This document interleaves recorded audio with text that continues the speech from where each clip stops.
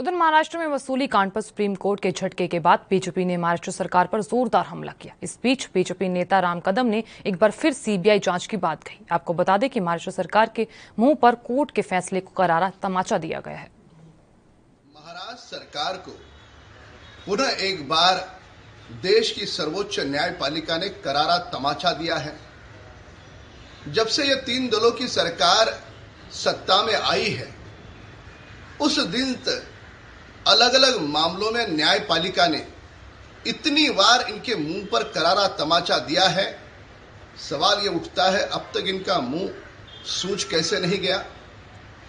अब की बार जब भी न्यायपालिका में जाए, अपना काला दागी चेहरा छुपाने के लिए और करारा तमाचा न्यायपालिका की ओर से आने के बाद मुँह की सूजन न दिखे, इसलिए कोई मलम ले जाए। सीबीआई की जाँच एजेंसी अपने भारत की जाँच एजेंसी है, कोई पाकिस्तान की नहीं है। महाराष्ट्र सरकार को आपत्ति किस बात की? उनका रवैया स्पष्ट करता है कि ज़रूर कुछ ना कुछ उन्होंने किया है और उसी के लिए उनको सीबीआई की जाँच पर डर लगता है। देश दुनिया की खबरों के लिए एएनबी न्यूज़ को सब्सक्राइब करें और बेल आइकन दबाएँ।